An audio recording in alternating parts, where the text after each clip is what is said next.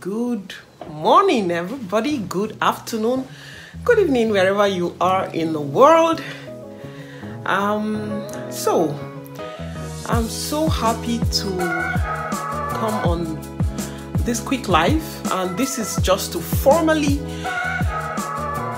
welcome everyone who is new to the Deeper Life Bible Church Singles Group. Um, all of us admins and, and moderators are always happy to see your questions, your comments, and and some of your fights. Sometimes it's interesting to to be in a group of young people who want to talk about Christian relationship. I'm really happy to see all of you. And I love to listen to your conversations. I love to read some of those beautiful stories that come from our um, great writers and all the questions, all the answers that are brought by our leaders, our married people on the group, our pastors, our marriage committee leaders who are also bringing um, answers. I'm very happy that somehow, somewhere, so many people are being blessed by this group.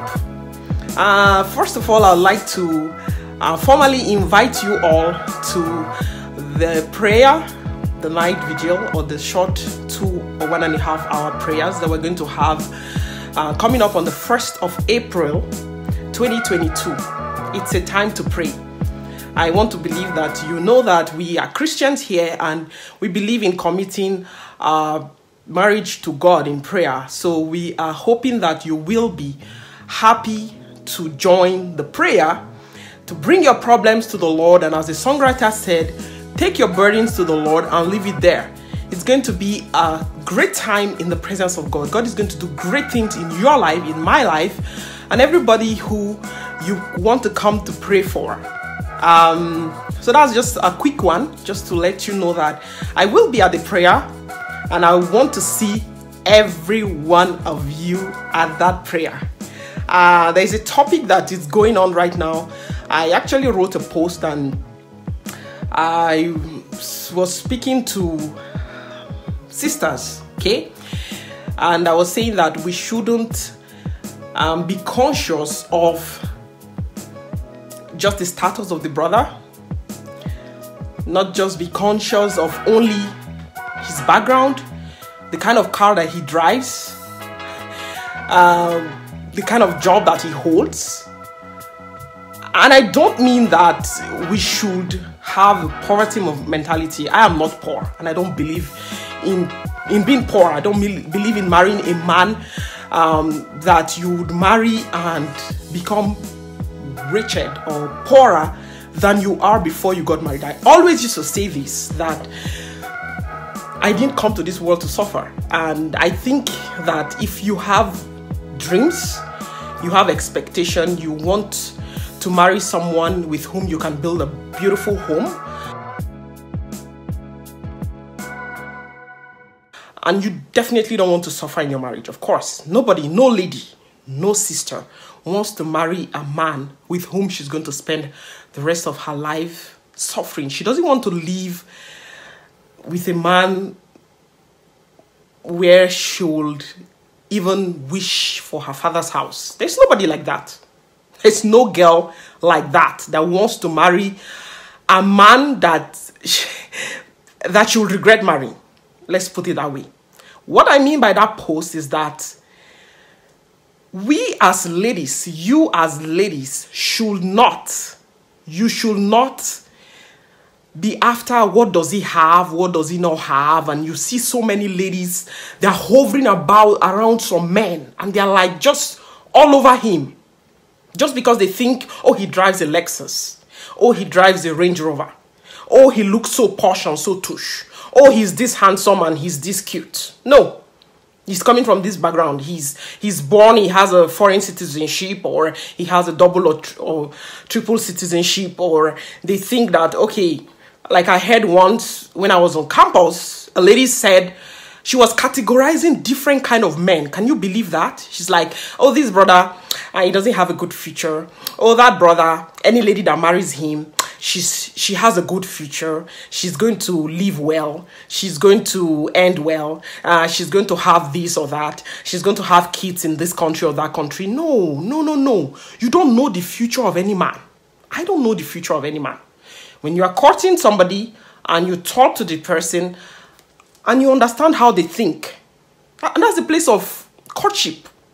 If somebody proposes to you and you have gone to pray and you are you are sure that God is leading you to this brother to marry this brother, I expect every lady, every lady to first pray sincerely with, without any strings attached, like without anything without any expectation, without trying to first go to dig this man's life to find out is he my kind of man? Is he does he have this much money in the bank? Does he have this connection? Does he have that connection? All those things don't guarantee a good home. It doesn't guarantee a beautiful marriage. It doesn't guarantee that uh, that the fact that the man is doing well today that he's going to keep doing well tomorrow. And I'm not saying that.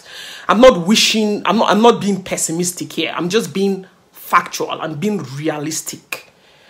So I expect every lady to pray, pray sincerely with an open heart. And that's why I said, God knows your heart, God knows our intents, God knows what you're thinking that nobody is thinking about. God knows why you want to marry this man. Is it a noble reason or is it um, personal economic reason? It's good to marry a rich man. It's good to ma- marry a man that is that is well, that is stable. But I want you to not only pray, I want every lady to think to think in a different way. I want mentalities to change. I want ladies to start thinking with like think about it this way. The man that you want to marry, he's he was just a young man. He was also in school like you.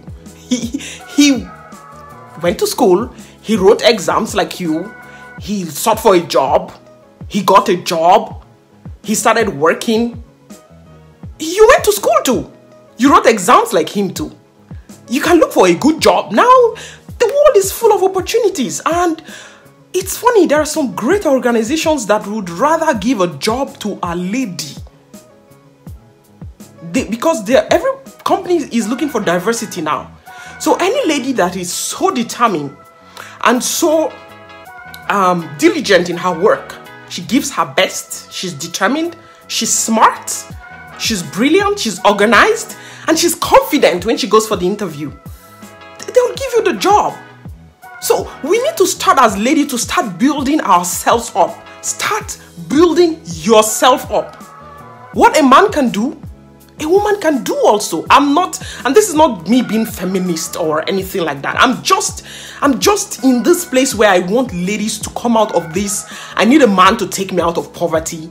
I need a man to take me out of misery. I need a man to to make me have the the the, the life of my dreams. Start thinking that your man, the man you're going to get married to, is a partner with, we, with whom you're going to build a great life. Okay? In the meantime, while you're waiting for this man to come, I want you, I expect you, I hope that you will change your mindset and start to think about it this way. I need to get a good job for myself. I need to get starting, I need to get a business starting. I need to do great things. While I'm waiting, I'm just not there sitting like, okay, who is going to come and marry me? Now, who who will come and just pull me out of this? No. Mm-mm. Be busy. While you're busy, the Bible says, deep calleth unto deep. While you're busy as a lady, it will surprise you the kind of man that will see you. You don't know who is watching you. So that's my little piece. I'm going to just stop here. I'm jumping back to work. You can see that I'm working. It's day for me, so I'm still working. But I just want you to be encouraged that as a lady, um, I want you to marry a good man, a lovely man, a rich man, comfortable man, yes, but you build your own internal wealth. Get wealthy yourself.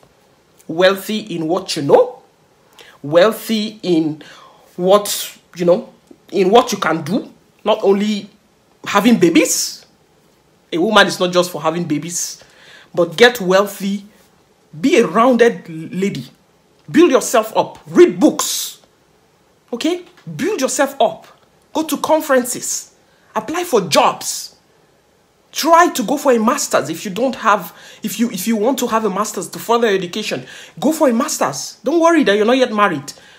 Get busy. So go for a master's. Go for a phd if you don't have a first degree try to go for a first degree. Even if you have a job in the daytime you can always take an evening class an online class. Just do anything and everything to upgrade yourself. So this is the the last thing i'm going to leave the last piece i'm going to leave with you today is do everything as a lady to upgrade yourself.